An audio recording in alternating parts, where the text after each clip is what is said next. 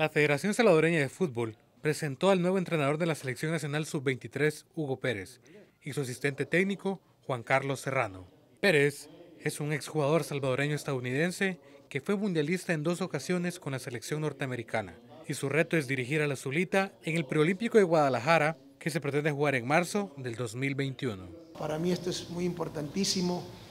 no por mi carrera, sino que más que todo por el deseo de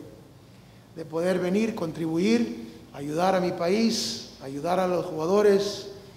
porque para mí la selección nacional es de todo el país, es de todos los jugadores, de toda la gente salvadoreña aquí en Estados Unidos y me siento una vez más muy contento y obviamente con el deseo de empezar a trabajar.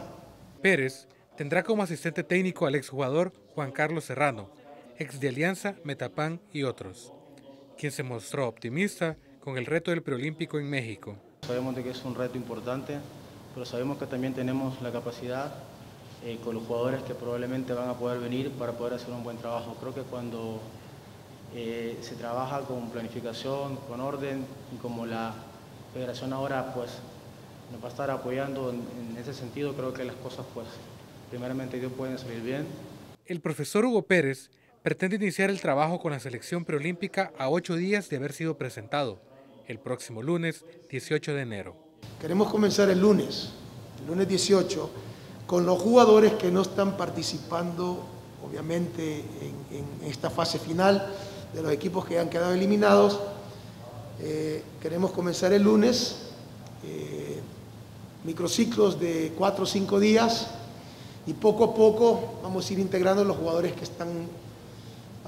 que sus equipos están quedando fuera. La segunda etapa en el plan de Hugo Pérez es tener a los futbolistas a tiempo completo en febrero y la tercera fase será previo al viaje a Guadalajara. Según explicó el presidente de la Fast Food,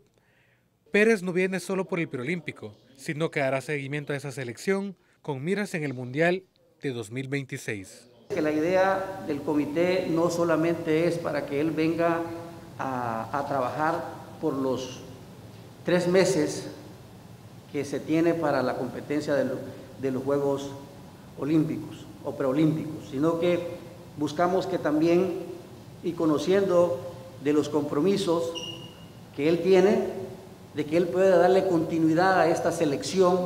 sub-23 que presentaremos nosotros en Guadalajara, para que